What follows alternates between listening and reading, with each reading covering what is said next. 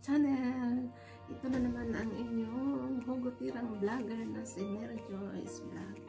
Guys, ang ipapakita ko ngayon sa inyo ay uh, kasi may nagtatanong na uh, kung anong sekreto ng aking kilikili. Kilikili challenge.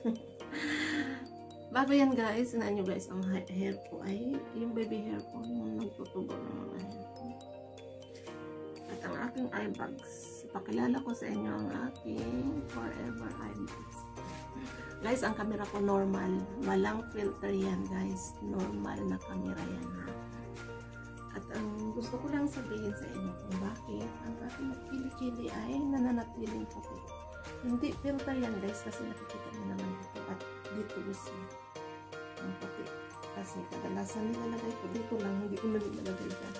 So, kaya makikita hanggang dito lang talaga. Ano, yung normal na hanggang ayan. Ayan guys. Ayan guys mga may mga butlig-butlig pa guys kasi yung binunot ko. Binunot ko guys sumama yung mga laman. Hindi naman masyadong maraming mo kaya binunot ko ayan. Pero guys maputi siya guys. Tingnan kaya ang aking sekreto guys bakit mananatiling puti ang aking kilikili ay nilalagay ko guys. Ito. nilalagyan ko ng lemon yan guys.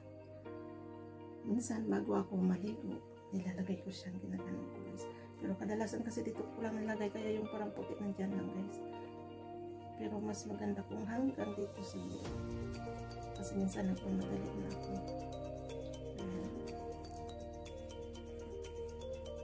mas maganda guys si ganyan yung para kasi.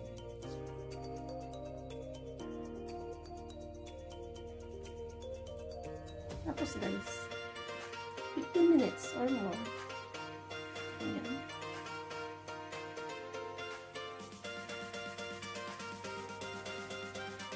Tapos nano ko na siya.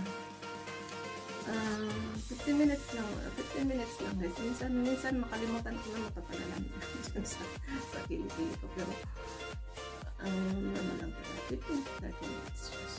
15 minutes. Basa. Tapos, bago yan, minsan sinasampara ko ang aking kilikili. Pero bihira lang din guys. Ang itong lemon, ginagamit ko. Minsan, yung pag magagamit ako ng lemon, na may niluluto ako or nag-iinom kasi ako ng lemon na in-squeeze on lemon. Yung pinagpigaan ko para sa aking inumin, pinapahid ko rin bago ko itapon yung ano niya, yung pinagpigaan ko bago ko itapon. Pahid ko muna sa kilikili ko tapos itapon ko na. Hindi ko ipahid yung bago gamitin na. Joke. Pag nag-inom ako every morning, nag-inom ako ng ano or may something iluluto ako tapos hindi ko itatapon yung guys. Pahid ko muna sa aking kilikili bago ko siya itapon. After 15 minutes punasan ko na yan nung mabasa tubig lang. Minsan hinugasan ko ng ganyan siya. Pagkatapos noon ayun hindi naman araw-araw kasi hindi, hindi ko araw-araw. Uh, pero yung pang araw-araw ko talaga guys dahil lang punasan ko muna guys kasi parang nag uh, ano ako sa lemon. Pero mamaya hugasan ko din yan. Diba? Mamaya hugasan ko. Tapos, ayan. Ayan ang naging habit ko na sa aking pinipili. Pero yung mga binunutan ko guys, wala mo mula kasi bagong bunot na sa kabila ng siya. Pero guys, may sekreto pa akong isa na nilalagay daily talaga yan bago ako um, pagkatapos ko maliligo. Pagkatapos ko maliligo, mayroon talaga akong maintenance na nilalagay. Kahit kahit guys walang amoy ang ating kilikili, pwede tayo maglagay niyan. Every day pagkatapos natin maligo, Tingnan nyo, press na press na hindi ko nabas. Tapos, yung pang daily ko talaga, Yung iba guys, mahihiya sila magamit kasi baka daw sabihin na magagamit sila niyan, may amoy ang kilikili. Hindi naman ibig sabihin na magagamit na yan, may amoy ang kilikili natin. uh, ako guys, nagagamit ako niyan mula pa noon hanggang ngayon. Kasi wala namang amoy ang aking kilikili pero gusto ko mananatili siyang fresh at mananatili siyang fresh at walang yung ano ba maputi kasi pag nagagamit ako ng mga roll-on may ginagamit din akong roll-on ng pamputit pamputit sa sa ano sa saralita so dito sa medium stress wala man kaya ito na lang ang ginagamit ko pagkatapos maligo ang ito guys ang aking sekreto. Guys huwag kayong mahiya magpa magsabi na nagagamit kayo nito nagagamit ako nito guys. Tingnan nyo guys ang shine na ng aking ano shine na shine na siya. Kasi bawat pagkatapos ko maligo yan ay pinapahid ko dito hindi naman ibig sabihin nagagamit tayo nito may amoy ang kilikili natin no? ng amoy ang aking kilikili guys. Pero gusto ko siya mananatiling maputi ang aking kilikili at fresh ang aking feeling kapag naglagay ako niyan. Yung iba powder, hindi ako hiyang sa powder. Kasi ang powder, pag nilagay mo siya, nagbabasa. Lalo na papunta ka sa init. Nag-ano siya, nagpapawis. Nagbabasa siya. Pero kung ito naman ang gagamitin nyo, hindi. Hindi siya. Kasi pagkatapos niya maligo, medyo, pagkatapos niya maligo, medyo basa-basa pa yung kilikili niyo. Ipahid niyo lang siya. Pahid lang siya dyan. Kahit hindi na kayo magro-roll on, ito lang. Kasi minsan yung roll on, roll on, roll on pag may amoy, halimbawa mabango, uh, yun ang makakaamoy pag pinapawisan ka nakakaamoy tapos nakakaitim ka ng kilikili.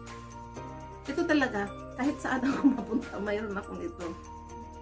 Kasi, bawat pagkatapos ko maligo, mayroon talaga ako yan. Kapahit ko dito. Kaya tingnan nyo guys.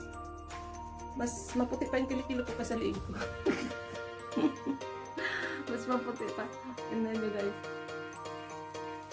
At saka yung lemon guys, pwede nyo rin kahit gawin sa singit. sa singit nyo guys, pwede nyo gamitin sa singit. Yung lemon. Pwede rin lemon. Pero ito talaga ang kahit ito, pwede nyo rin. Kasi pampaputi naman talaga ito. Pampaputi ito talaga sa Pilipinas.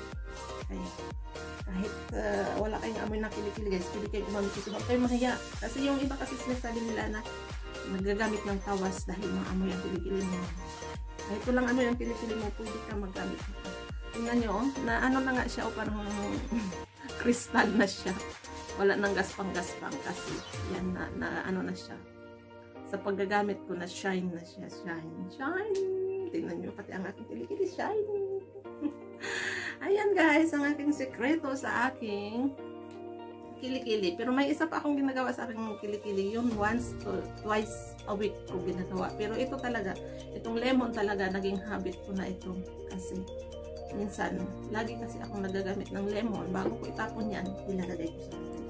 Pero ito, ito talaga ang use ko. Ayan, sana guys may natutunan kayo sa mga maitim na kilikili. sa mga maitim na kilikili guys, may natutunan kayo. Kayo sa ating vlog na ito para mananatili maputi ang ating kilikili. Kilikili palace. Ayan. Tignan nyo guys, maputi pa yung kilikili ko sa akin. Sa aking siko, sa aking liig. Ayan, ang aking vlog for today. Sana magugustuhan nyo. Please subscribe and bell all the button. Ito ang inyong lingkod na hugutin ang kikay, ang OFW. This is Thank you, thank you. Shout out sa aking mga members, sa aking mga supporters, sa aking mga viewers. Maraming salamat sa inyo guys. Bye. Love you all. Hmm.